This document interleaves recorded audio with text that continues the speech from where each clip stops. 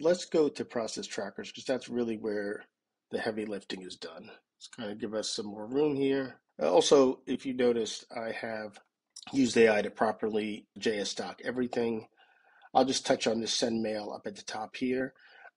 I did not integrate an email server in this for the purpose of example. It wasn't important. So what happens when the send mail is called, which is what happens when the price hits a specific trigger, it'll just console log something out so that you know that it actually happened. Uh, if you want to, you can integrate your own email provider here. I, I usually use Resend. I've had the most success with that, but that's kind of what's going on here. But let's just start at the top here at what the uh, tracker is doing. So first, the task can define its own schedule, but since we have defined the same thing inside of jobs, you could actually remove this. This is optional. It's not necessarily needed, but I just put it here just for purpose of explanation.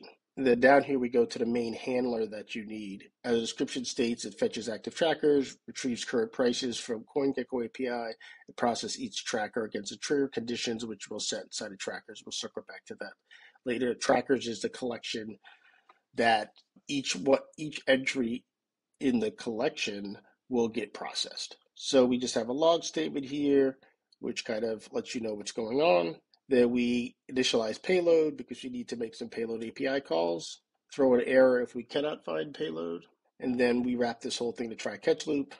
And th- this is just the logic of what I'm doing inside of my process trackers. Whatever your job is, you would have your logic inside of here. There's some basic things that you need. Like I said, this is optional. You definitely want to set the slug on it. And then inside your handler is basically where you put your business logic. And this is just showing how I can use payload to actually query, get other things, and, and basically leverage the data that I have inside of payload to potentially make an external API call, which is what I'm doing, and then also update the database and do a bunch of other things. So the first thing we do here is we get we query our trackers collection, we get all of the trackers that exist. Then what we have to do is to call this coin ID. Basically, what we do with the API is you have a comma delimited list of the IDs of each one of the coins that we're tracking. And then we're using this CoinGecko API, and then we make our API call. This gives us the list of all the uh, coins, and then it returns our price for us.